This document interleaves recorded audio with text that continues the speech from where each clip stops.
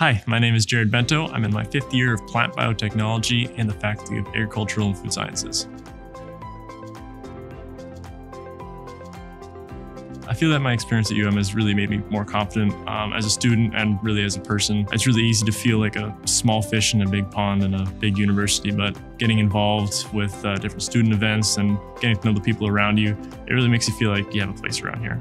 You can work on campus, get involved in clubs, work out or join an intramurals team, cheer on the Bisons with your friends if you want to. I've been able to get really involved with the student ambassador program as a student ambassador, I've been given lots of opportunities for school outreach, talking to younger students, prospective UM students. I tell prospective UM students to keep their eyes open and be aware of everything around them because there's a lot more going on than you realize if you're just keeping your head in the books. Keep looking at the emails and the Instagram and everything because these events that you might not see or might not hear about are the things that you're potentially going to remember for the rest of your life.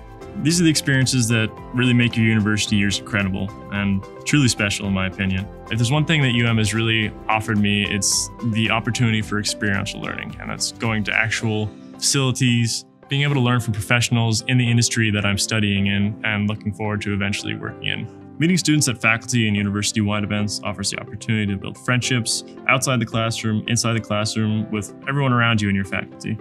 It's really up to you to actually go out of your way and experience it and meet all the people around you and see what really there is to offer. And the more you choose to do that, the more you learn and the more you feel like you really have a place in your faculty and at the university.